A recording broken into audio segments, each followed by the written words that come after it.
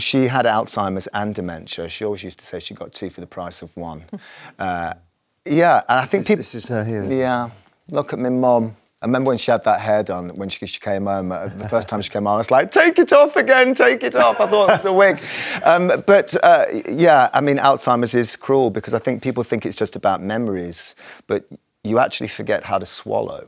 Yeah. By the it's end. not just about you know forgetting who people are. It's about so much more than that, and we need to do so much more to Mm. raise awareness, to raise funds uh, on, many levels, because it is a brutal disease, and one in three of us, it's soon to be one in two of us, is going to experience. Yeah, because we're living longer. In the Middle Ages, we didn't. I Yeah. guess we didn't have hardly any of it, did we? at all. But, but I, I know what you went through. You lost three stone in weight or something, did you? Went Yeah, really, got really thinned out when your mum was unwell. I'm a mummy's boy, and I am proud of that. I lost my dad when I was 17, and at that time, and I guess I didn't really, I didn't understand it then. I didn't understand what sort of, what death meant because I didn't have to go through it in the same way. With my mum, I was there right to the end.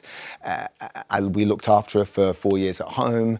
Um, watching the life leave somebody it just it's a profound thing and it had a profound effect on me. Uh, one that i'm grateful for though because you know she gave me a gift. It was her parting gift for me to sort myself out